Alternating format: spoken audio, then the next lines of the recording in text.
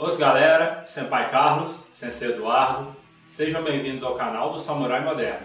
E no vídeo de hoje nós vamos compartilhar com vocês um segredo que fez aumentar exponencialmente o nosso desenvolvimento nas artes marciais. Exatamente, não é só na academia que se treina, artista marcial tem dever de casa também. É isso aí, pessoal. Se você quer levar o samurai moderno para sua cidade, conhecer o Kudo de perto e a nossa didática de ensino e ter uma experiência marcial muito interessante, nós criamos um questionário para poder mapear quais serão as primeiras cidades a receber o evento. Então, é muito importante que você preencha o questionário e leve para sua comunidade marcial, para que a gente já possa mapear rapidamente e começar os eventos. É isso aí. Então, se inscreve no canal. Pessoal também que quer ajudar o canal a crescer mais, a gente investir em equipamento para melhorar áudio e tudo mais, pode nos apoiar através do apoia que fica o link aí na descrição também. Vamos lá. Nossa. Então, pessoal, o segredo que a gente quer passar aqui vai ser dividido em duas dicas. A primeira delas é entender que você tem que estudar além da sua academia.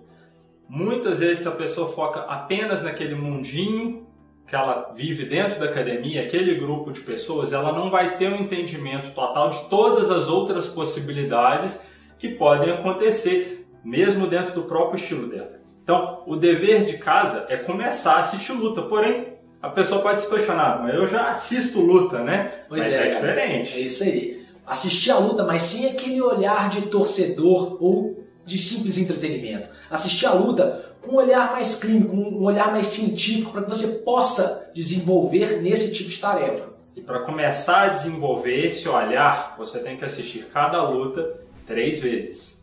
Inicialmente, você vai começar a observar apenas um lutador depois apenas o outro lutador e depois o espaço entre os dois, esse controle de distância que está acontecendo ali. E você tem que começar a notar os padrões de movimento, os erros.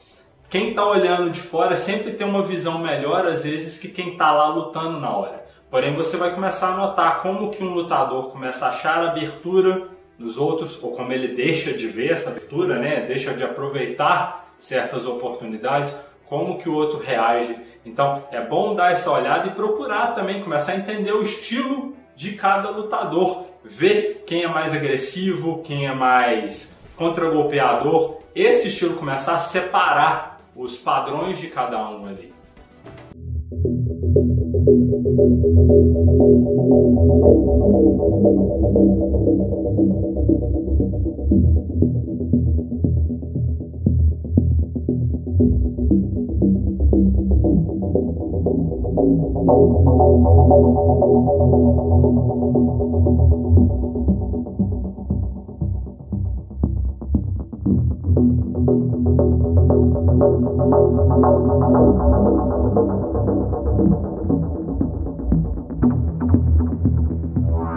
A segunda dica que a gente tem para passar para vocês aqui é que depois de ter desenvolvido esse olhar clínico de conseguir assistir à luta e separar o lado do fã do entretenimento do lado do estudioso, é você escolher um lutador que ou você ou parece com seu estilo, não só na forma de lutar, mas na forma de peso, a mesma categoria, ou um lutador que você quer ser, quer ser parecido com ele. E é claro, sempre olhando a categoria de peso e tudo mais. Você pode escolher a partir da sua forma de luta. Se você luta em pé, se você luta agarrado, se você é, é, é um lutador de alguma luta de projeção. Por exemplo, se você luta em pé, você pode escolher um lutador contra-golpeador, se você é um contra-golpeador, um lutador que, que usa é, o choque, né, o DI, que bate de encontro, ou aquele lutador que, é mais, que ataca mais, que é mais agressivo. Se você, no caso da luta agarrada, por exemplo, vamos dar um exemplo aqui do jiu-jitsu, por exemplo, você pode escolher um cara que ele é da sua categoria, se ele é passador, se ele é guardeiro e começar a buscar uma modelagem para que você possa, através desse exercício, ir assistindo várias lutas dessa pessoa que ou parece com o seu estilo ou você quer ser igual a ela. Isso é fundamental. Quando eu iniciei no jiu-jitsu, eu fiz isso assim que eu peguei a faixa azul. Eu escolhi um cara que era um estilo que eu já queria fazer uma, uma, algo parecido com ele, eu queria lutar parecido com ele. E eu fui pegando, eu fui fiz esse estudo em cima, escolhi um atleta e todo dia eu assisti alguma luta dele de 10 minutos. Fiz esse dever de casa durante muito tempo. E uma coisa interessante que acontece nesse tipo de atividade é que fica gravado no seu subconsciente. E você acaba replicando esse tipo de um movimento em alguma ocasião, mesmo que seja dois, três, cinco meses depois, né, cara? Exatamente. É importante separar esse lado mais emocional do fã para você ter uma visão um pouquinho mais fria e específica sobre aquilo.